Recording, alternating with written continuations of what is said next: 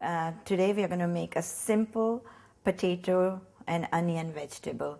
This is used in many, many dishes. It's also used as a filling for crepes, and um, it's always just eaten with uh, bread. Vegetables always get eaten with bread, and rice gets mixed with, uh, with lentils. So we're going to start. We have the all the ingredients here: potatoes, onion, ginger, green chilies, cilantro for decoration. We have black mustard seeds. In Indian cooking, you always use black mustard seeds. And then what we have urad dal. This dish particularly comes from the south of India, and so they always season everything with this white lentils. And these you can get in an Indian store. If you if you don't want to run to an Indian store, you can omit this. But this is, um, and you can also use yellow mustard seeds for black mustard seeds, which is perfectly fine. The other spice is turmeric, which is um, which is a ground, which is a root that grows underground, and it's yellow. It's just like ginger, but doesn't have the ginger flavor. It has its own flavor, and it gets sun dried and then ground up. And it's used to color the dishes, and it's also used for flavor. Um, in India, the land is very barren, and so the food has to be colorful. That's like a requirement of Indian food. And then there is a very interesting, uh, it's a spice called hing, or the English name for that is asafoetida, and it's um, it grows on it, on the tree and it um, it oozes out as a sap, uh, and then when it oozes out, it hardens up and then people you can break off of it from the tree and you can uh, they powder it. And it's very coarse at that time. And so when they powder it um, they add some whole wheat flour or rice flour. So people with um, allergy to um, whole wheat should avoid that. And this is another spice that can be totally eliminated from the dish. So we are going to start with um, turning the stove on, of course, and uh, always heat the pan first. Um, because if your pan is wet, then the oil you pour into it will splutter. So we are going to let this warm up. I know my pan is dry, so I don't need to wait too long. I'm going to add oil and then let the oil heat up because um, you, we, when we add the seeds, uh, mustard seeds and dal, we want the dal to splutter and the seeds will pop. And the, the oil has to be heated up for about two minutes before you add the seeds to it.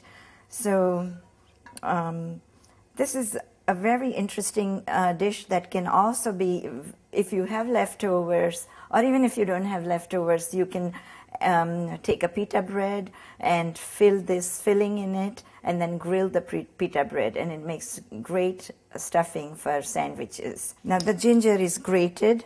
You can chop it fine. That's uh, that's fine. You want to use fresh ginger for this because nothing beats the flavor of the ginger. And then I have these chilies here that are going to go in this dish, and they I kept them long so that people who don't want to don't like it hot can pick them out. Um, and they, I keep the seeds in because that makes it more spicy. If you didn't want these potatoes to be spicy at all, you just eliminate the chilies and it will be just fine without the chilies. Um, Indian food doesn't have to be hot, but it has to be spicy. So, one way to tell if your oil is hot or not is if you put your hand over your pan you can kind of uh, feel the heat. And that's the heat of the stove and the pan, and it's not necessarily the heat of the oil.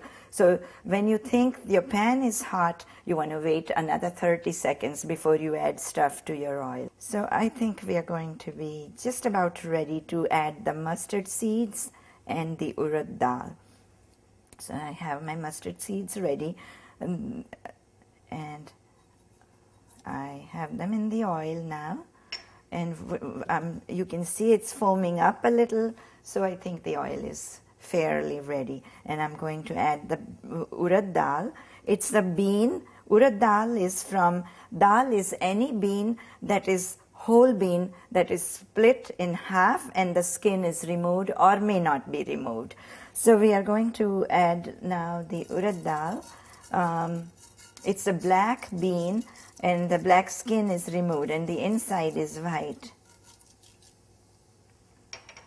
And um, then you want to stir it up a little bit, but not too much stirring because you don't want, when you stir it too much, it, it cools off your seeds and you want the seeds to pop and the dal to turn brown.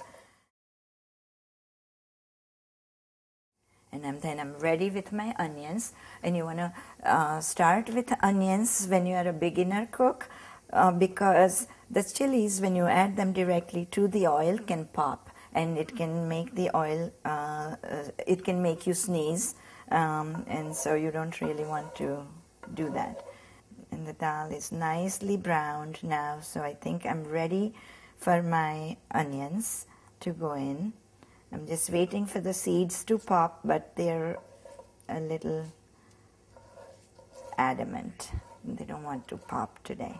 So that's all right. We'll go ahead and add the onions. And, and then you want to stir them. And now it's safe to add the chilies and ginger because now the oil has cooled off a little and so so the chilies are not going to do any harm to the cook.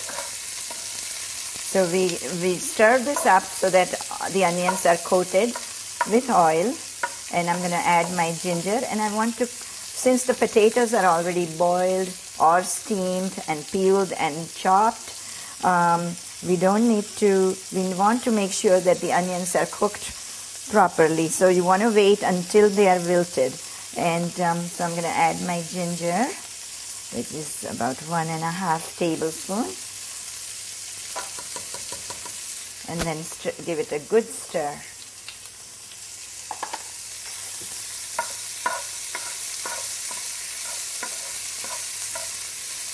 And this will take about um, about three to five minutes, depending on how raw you want your um, uh, onions to be. So, you know, some people like them very crisp. I like them quite wilted.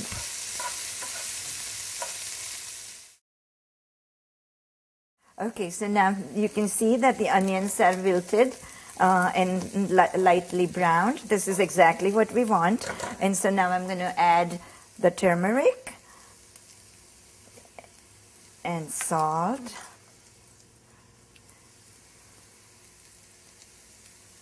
And lemon juice. And you want to try and use the fresh ingredients. Remember, India is still a country where everything is, um, um, or not necessarily organic, but everything is cooked. Um, um, women take great pride in feeding their men and their family um, um, freshly cooked meals. And we have, up until few years ago, we did not everyone could afford refrigerators, and so everything that you made today had to be used up, and so everything got uh, prepared like fresh and uh, in enough quantity so that um, it can all be used up. So, like lemon juice, you don't want to use reconstituted lemon juice. You definitely want to use natural, like lime or lemon juice is fine. And then now I have added the potatoes to these onions um, and salt and all the spicing is there. So now you're just mixing up and heating up the potatoes just enough so that um, the spices will coat potatoes and you just mix it all up. This is fairly simple to make and quick and if you have when you are baking potatoes or for, for another meal, you can bake some extra, and next day you'll have these um, uh, ready to. You can put up, make this um, bhaji um, for another meal.